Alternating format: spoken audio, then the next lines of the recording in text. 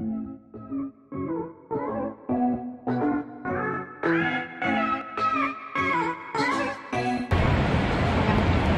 ดีค่ะ สวัสดีค่ะ วันนี้นะคะจะมาขออนุญาตสัมภาษณ์คุณสุภาพรนะคะ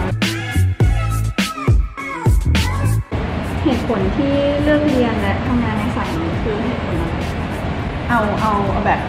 ตรงๆเลยคือตอนแรกเนี่ยเราไม่รู้หรอกว่าภาควิชา land คืออะไร คือเมื่อถ้าเมื่อ 20 กว่าปีก่อนเนี่ย ภาควิชา landscape เนี่ยถือว่า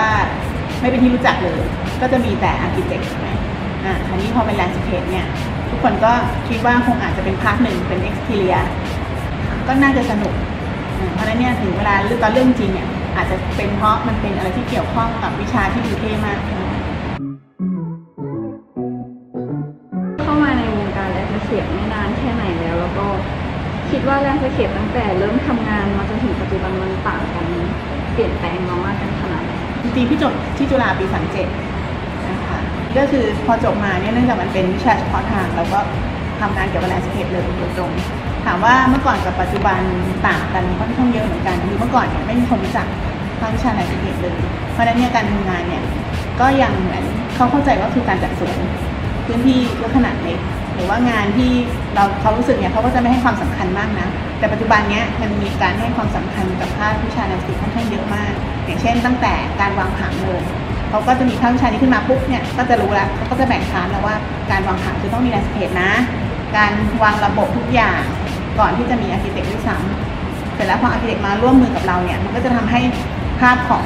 Open Space หรือพื้นที่ภายนอกเนี่ยมันมันสำคัญขึ้นมาเยอะมาก แล้วมันก็เข้าไปประสานกับ ตัว architect ได้เลยอย่างออฟฟิศที่เนี่ยคือเป็นออฟฟิศที่ไม่ได้แยก landscape อยู่คนเดียว เพราะนั้นเนี่ยก็คือมีการทำงานระหว่างสามทีมงานเลยคือมีทั้งแมสเคดมี architect แล้วก็มี interior เพราะฉะนั้นเนี่ยสามกลุ่มเนี้ยมันมันทำให้มันสอดคล้องกันได้เลย โดยที่เหมือน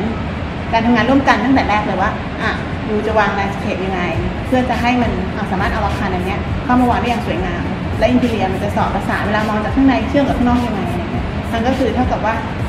ปัจจุบันเนี้ยมันเกิดการประสานงานกันมากขึ้นมากเลยค่ะ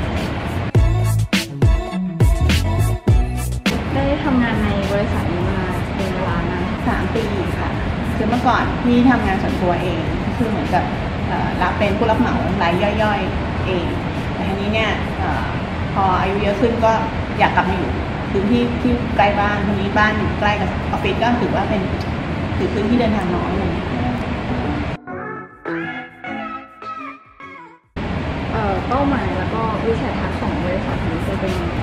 คงคงจะคล้ายๆ กันกับทุกบริษัทที่อยากมีผลงานระดับโลก ก็คือเป็นเป็นผลงานที่มีเป็นที่รู้จักของคนทั่วไปว่าเรากำลังสื่อสารภาษาอะไรไปให้คนข้างนอกรู้ว่าอันไหนคือสไตล์ของออฟฟิศเรา เพราะฉะนั้นถามว่าคงจะแบบถ้าถ้าถ้านิยามนะก็คือสร้างผลงานที่เป็นที่รู้จักไปทั่วโลก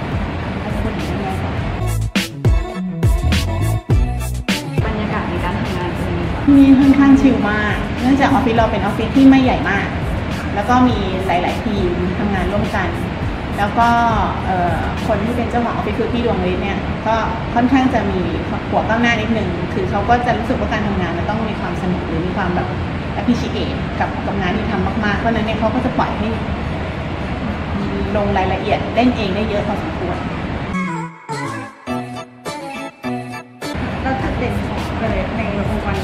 ต่างจากที่อื่นยังไงบ้างคะอาจจะเรื่องความ โดยโดยบังคับโดยกฎน้อยกว่าที่อื่นคืออาจจะเอาออฟบ็อกมากกว่านิดนึงคืออย่างอื่นมันจะมีมันจะมีระบบระบบระเบียบอะไรมาก มากพอสมควรเลยที่นี่ค่อนข้างจะปล่อยเคย เจอได้รับงานออกแบบที่แบบแปลกไหมส่วนใหญ่คนที่เอ่อที่มาหาออฟฟิศแต่ละที่เนี่ยเขาจะรู้สไตล์คือ ถ้าเกิดเป็นงานชิ้นใหญ่เนี่ยเขาจะรู้สึกค่อนข้างรู้สไตล์กับออฟฟิศอยู่แล้วว่า จะใกล้เคียงสามารถลิงก์ของเขาหรือเขาอาจจะดูแบบเราก็ตั้งแต่แรกแล้วว่าเฮ้ยชอบแบบประมาณนี้แหละแล้วก็จากการทำงานนะคะที่เคยแบบพบปัญหาอะไรที่แบบยากที่สุดอะไรอย่างเงี้ยมันคงจะคล้ายๆกันที่ออฟฟิศนะที่ที่เข้าใจว่าเป็นอย่างนั้นคือ เราทำงานกับคนหลายหลายกลุ่ม ตั้งแต่เจ้าของตั้งแต่เราเองนะคะที่เราก็มีความคิดแบบนึงเจ้าของก็มีความคิดแบบนึงเพราะฉะนั้นการที่จะมาจูนกันตั้งแต่แรกเนี่ยพี่ว่าก็ระดับหนึ่งแหละเราก็ต้องบริการให้ให้ให้ถูกใจเขา เพราะฉะนั้นเนี่ยบางทีเรากับเขาก็คือมันยากอันนี้เป็นยากอันดับหนึ่ง พอตอนลงมือก่อสร้างก็มีความยากอีกคือมีทีมงานก่อสร้าง มีงานระบบ มีอะไรขึ้นมา เพราะฉะนั้นเนี่ยงานอาร์เคเต็กมันเป็นงานที่ต้องทำงานกับร่วมกับคนอื่นด้วย มีผลงานอันไหนที่รู้สึกชอบมากไหมคะแบบเป็นที่หนึ่งในดวงใจเลยคือพี่ยังทำงานกับที่นี่ไม่เยอะมากนะคะ แต่ว่าอันที่อันที่รู้สึกทำแล้วชอบมากๆเนี่ย ก็อย่างคือชอบผลงานเก่าที่เขาเคยทำไว้ของออฟฟิศนะก็คือเป็นนาคาที่ภูเก็ตคือเป็นเป็นรีสอร์ทที่ที่มันเหมือนกล่องมันยื่นลงไปค่ะเพราะฉะนั้นอันนั้นเนี่ยพี่คิดว่ามันเป็นอันที่ทำให้คนรู้จักพี่ร่วมมากขึ้นแล้วก็รู้จักออฟฟิศมากขึ้น เกณฑ์ในการรับนักศึกษาฝึกงานหรือว่าพนักงานใหม่ๆนี่มีแบบเด่นๆมีอะไรบ้างถ้าถ้าให้พี่เดาวนะคนที่จะเป็นคนรับคนนอกจากดูพอร์ตแล้วผลงานว่าดูน่าสนใจแล้วนะคะ อันที่สองก็คือจะคุยกับพี่ดวงเป็นการส่วนตัวสัมภาษณ์ เพราะนั้นเนี่ยพี่ว่าพี่ดวงที่ดูเลยเนี่ยจากที่สังเกตน้องที่เขาเข้ามาเนี่ยพี่ว่าแนวคิดแนวคิดว่าเขาเข้ากับเราได้ไหมคือในอย่างที่อย่างที่บอกคือออฟฟิศเราบางทีก็ ไม่ได้มีสตริกมาก เพราะฉะนั้นคนที่อยากได้ผลงานที่แบบเอ่ออีกแบบหนึ่งอะเขาก็จะอยากอยากอยู่ออฟฟิศที่ใหญ่กว่าเนี้ยเพราะฉะนั้นเนี่ยการที่แบบพี่ด้วงคุยแล้วเหมือนทัศนคติคุยกันได้ทำงานร่วมกันต้องเข้ากันได้นะค่ะพี่ว่าเรื่องเข้ากันได้แค่นั้นเลยอะไม่มีหลักเกณฑ์อะไรทั้งสิ้นเออคุยแล้วรู้เรื่องเออแล้วมีอะไรอยากฝากถึงพวกแบบเออนักศึกษาหรือว่าแบบภูมิสถาปนิกที่แบบรุ่นใหม่ คือคงที่ทำอันนี้รุ่นใหม่เนาะที่ว่าเราเราจบออกมาในแบบที่เออเราอยากจะทำงานที่ดีอย่างเดียวอะคือบางทีบางเรื่องเนี่ยมันเป็นการผสมกันระหว่างความประสบการณ์ แล้วก็เออมันต้องค่อยๆเรียนรู้อะมันไม่มีอะไรที่สุดสำเร็จไม่ใช่มาม่าแล้วเติมน้ำแล้วกินได้เลยเพราะนั้นการทำงานมันต้องแบบมันต้องมีจังหวะว่าการคุยคืออะไรประสบการณ์คืออะไรเดี๋ยวนี้เด็ก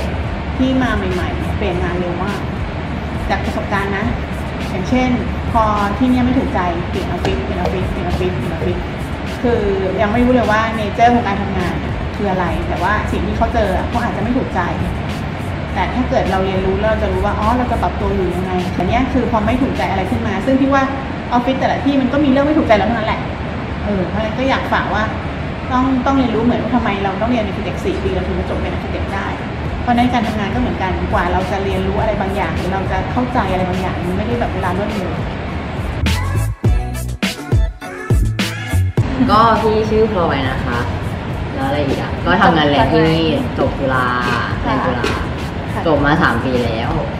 แล้วก็มาทำงานที่นี่เลยใช่ปะคะไม่ค่ะ ตอนแรกทำสตูดิโอกับอาจารย์ก่อน เสร็จแล้วก็ ก็ย้ายไปทำธุรกิจของตัวเองเปิดร้านคาเฟ่ แล้วก็ตอนนี้ก็ยังทำอยู่ แล้วก็มาทำที่นี่ด้วย คือแบบสำหรับหนูมีมันจะมีบางคนที่เขาบอกว่าการมันเรียนแรงก็ต้องอยู่กับต้นไม้บอกเพียวอืมอืมๆมันจริงหรือเปล่ามันเป็นทูสหนึ่งที่เราจะใช้ดีไซน์อะเหมือนแบบว่านึกออกไหมอินทีเนียร์เขาจะมีม่านมีพื้นมีอะไรกระเบื้องอะไรเงี้ยเราก็มีทูหนึ่งต้นไม้เอ่อพี่ชื่อขวัญนะคะ ก็จบจากจุฬาปี 2014 จบแบรนด์นะคะ แล้วก็มาทำงานที่นี่เลยตอนนี้ก็ทำงานมาประมาณสามปีครึ่งแล้วค่ะแล้วรู้สึกว่ามันใช่ตัวเราหรือเปล่าแบบการทำงานแบบนี้อะมันก็เป็นคำถามที่แบบเหมือนบางทีก็ยังถามตัวเองอยู่ว่าแบบทำอะไรอยู่อะมันคือมันมันจะมีทั้งเรื่องที่เราสนุกด้วย กับเรื่องที่เรารู้สึกว่าอีกแล้วแก้อีกแล้วแบบมันมันมีอย่างเงี้ยตลอดทุกช่วงการทำงานสนุกแล้วก็เบื่อไปด้วยอะไรเงี้ย แต่ก็ภาพรวมก็ถือว่าโอเคแล้วแบบทำไมพี่ถึงเลือกเรียนที่จะแบบมาในสายทางนี้อะคะทำไมถึงเป็นภูมิสถาปัตร์เราก็จริงๆเลือก interior แต่ว่าได้แดนก็ก็เออก็เลยเอาแต่รู้สึกว่าเฮ้ยมันคือสิ่งที่ถูกแล้วอะเรารู้สึกว่าเราแบบเราไม่ชอบที่แคบอะเราชอบงานสกิลใหญ่ๆสกิลกว้างๆแล้วแบบด้วยตัวเราเราก็แบบชอบไปที่ที่มันแบบ ชอบไปเขาไปป่าอะไรเงี้ยรู้สึกเออเป็นตัวเองอะแล้วก็รู้สึกว่า มันมีมุมมองที่เห็นอะไรหลาย ๆ อย่าง มันเปลี่ยนไป อย่างแบบเมื่อก่อนเดินในถนนอะไรเงี้ยก็แบบก็จะไม่ได้รู้สึกรู้สึกรู้สึกอะไรมากมายแค่แบบเออมันร้อนคือมันไม่น่าเดินแต่เนี้ยคือเราจะเห็นมันเป็นซิสเต็มว่าแบบมันมันเกิดอะไรขึ้นแล้วระบบมันเป็นยังไง